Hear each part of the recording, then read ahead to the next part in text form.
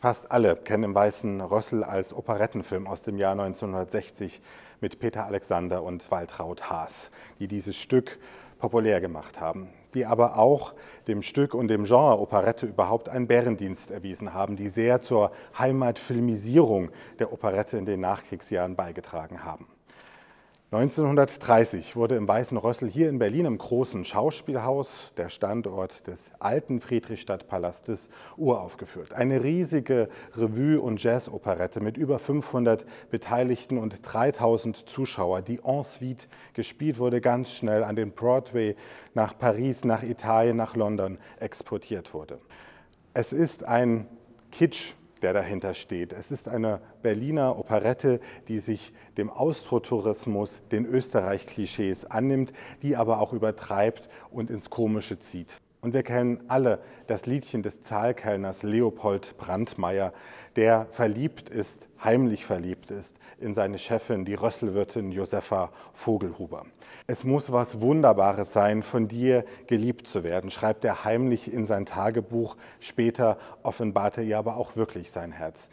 Gideon Poppe, Ensemblemitglied seit 2013 an der Deutschen Oper, singt ihn nun dieses Lied. Es muss was Wunderbares sein, von dir geliebt zu werden, begleitet am Klavier von unserem Head Coach John Parr.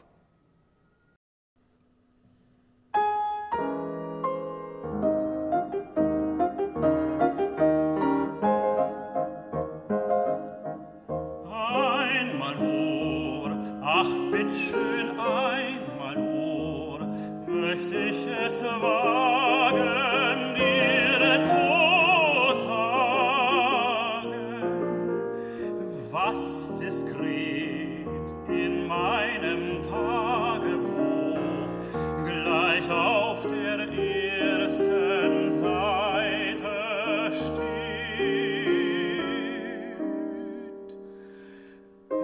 Es muss was Wunderbares sein,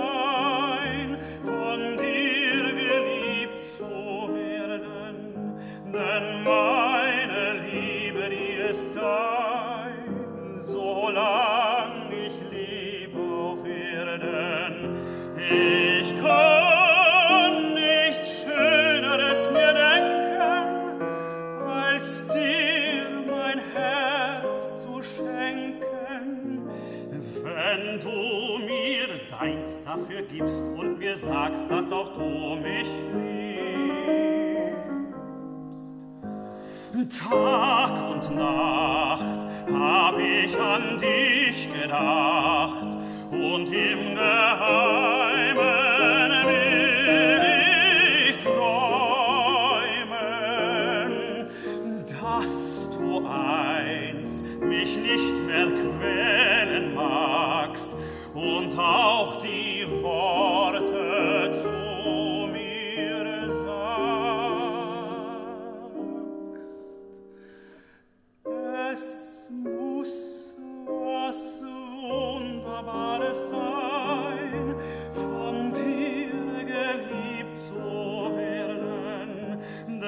meine Liebe, die ist dein, solang ich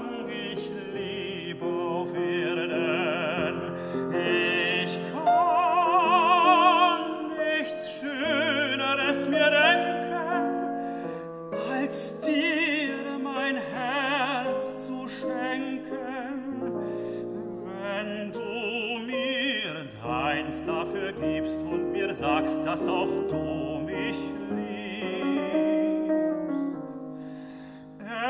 Es muss was Wunderbares sein,